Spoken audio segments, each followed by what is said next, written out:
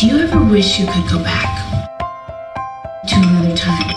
I've got my memories always inside of me, but I can't go back, back to how it was.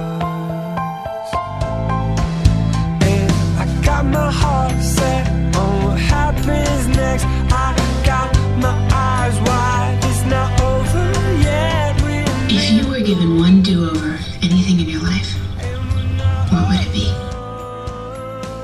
Nothing.